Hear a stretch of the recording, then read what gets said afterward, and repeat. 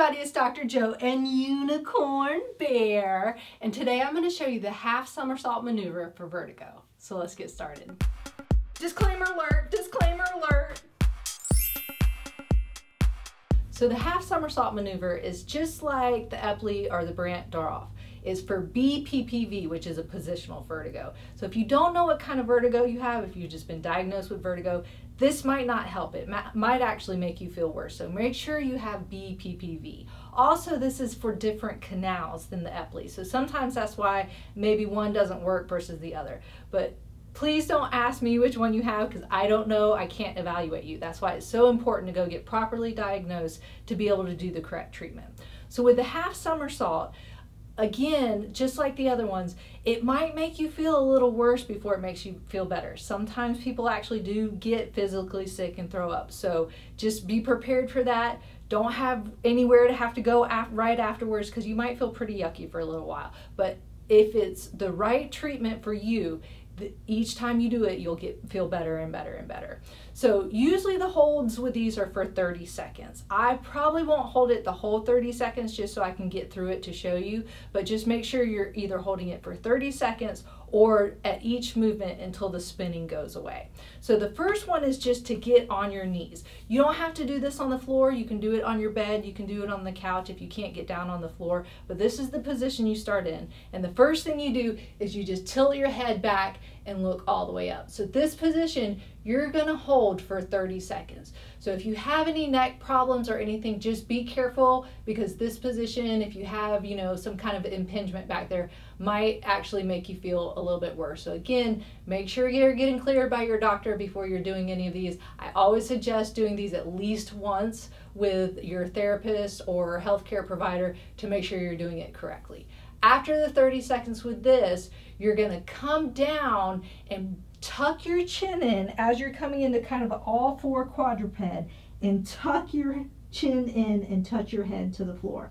I know you can't really see that my chin is tucked in, but I'm trying to tuck it in towards my chest, bending down as much as I can.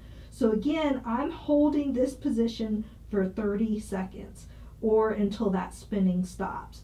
So if you have the spinning, that's normal. Try and keep and hold that position until it stops. Don't just stop because it increases your spinning. That's kind of what we're doing here.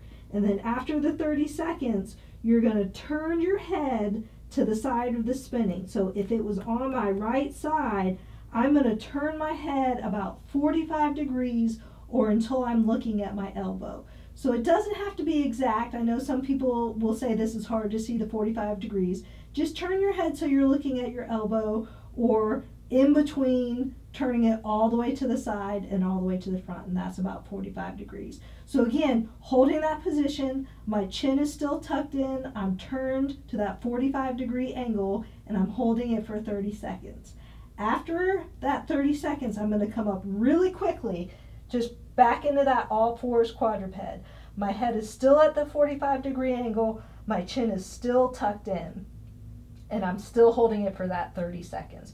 So again, each movement, your spinning might increase again. It might get, you know, all the way down to no spinning once that 30 seconds, you know, time is up, and then as soon as you move, you might get that spinning again. If you can, try and hold that position. And then the last one, you're going to come all the way up, but you're still keeping that chin tucked and your head turned to that 45 degree angle. So again, holding that for 30 seconds or until the spinning stops. And then nice and slow, come up, fix your hair if it's been rolling around on the floor.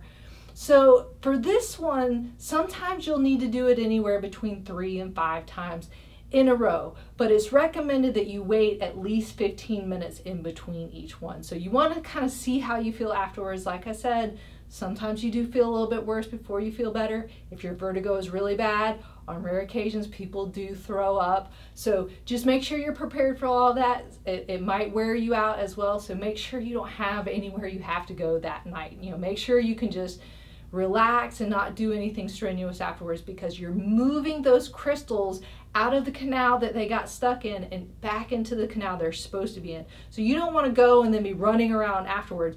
You want to get the crystals back where they're supposed to. Those little follicles that are hair-like follicles that hold the crystals in place, You want to get them set back in there in a nice position and let them be where they're supposed to be for a little while before you go and just do your normal everyday activities again. So make sure you're following those steps, but I really recommend you at least do it once, if just once, with a healthcare provider, your physical therapist, your doctor, any of those. Just make sure that you're doing it right.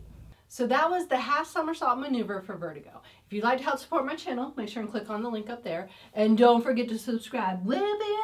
down there. And remember, be safe, have fun, and I hope you feel better soon.